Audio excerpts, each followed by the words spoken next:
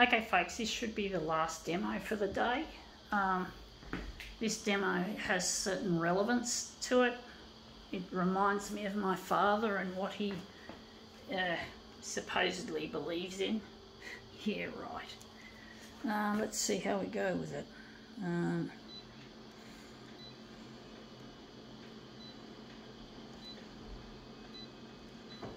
gonna leave it.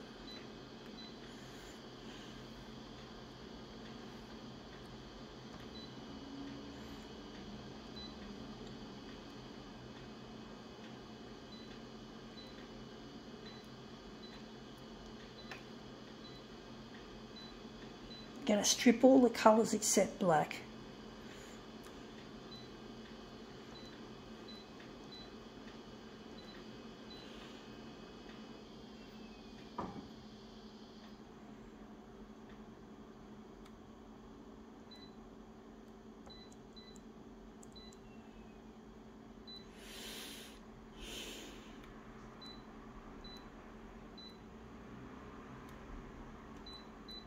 Okay, what is it that my dad is into?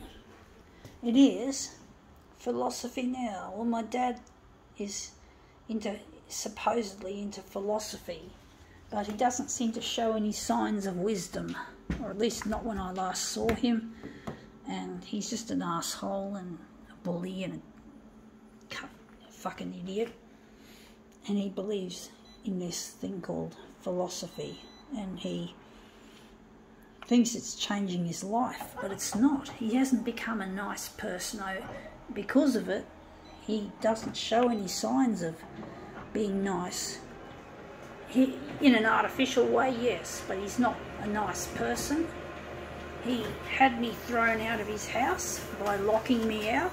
He tried to make me angry. He made me get angry and he used that as an opportunity to kick me out he's a bully. He teases and bullies me, so I can't live with him.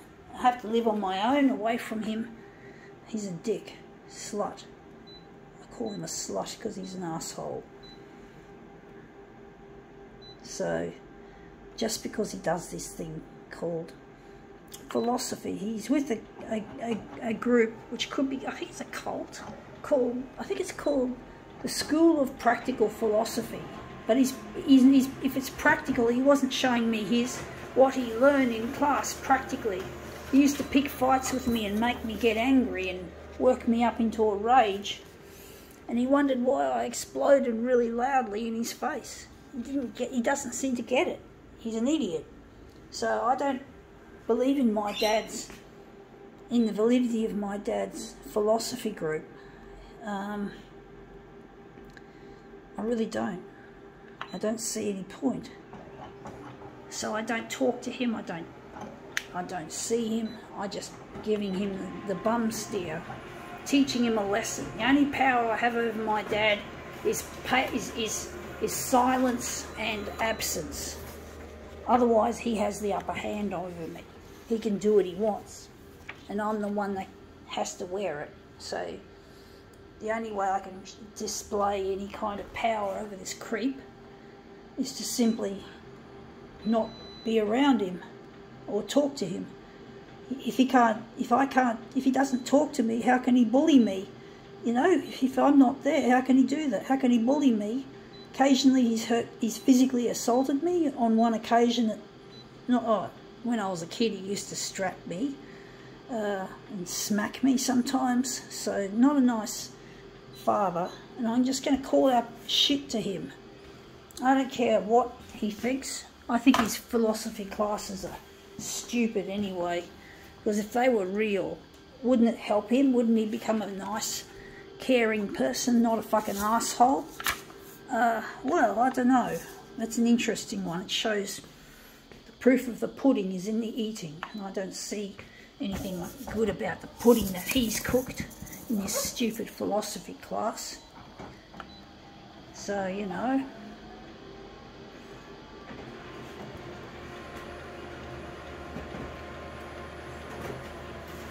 I'm going to prove him wrong. He hates my my photocopier art. He doesn't believe in it. He thinks it's foolishness. He calls my stuff foolish. But what is he calling himself? Is he the pot calling the kettle black, as the old saying goes? I wonder if we can take a section out of that. Or maybe this. Maybe I can take a section. But I really wish my dad could be a real father to me, if he could just be a nice person and just accept me as I am instead of treating me like I'm a fucking village idiot. And he's the one that's the village idiot, not me. I'm doing what I'm, I'm being myself. He doesn't want me to be myself. He wants me to be what he thinks is his, is his way of doing it. He wants it his way. He's a fucking tard. He's an idiot. He's a fucking idiot, my dad. He's a real fucktard. I'm going to teach him a lesson. He's not going to like it. I don't care. I don't care what he thinks. Oh, it looks interesting. Um,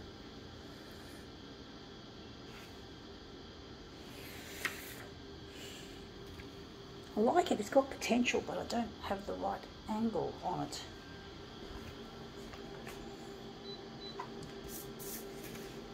But my dad just doesn't want me to be myself. He doesn't like what I'm doing here.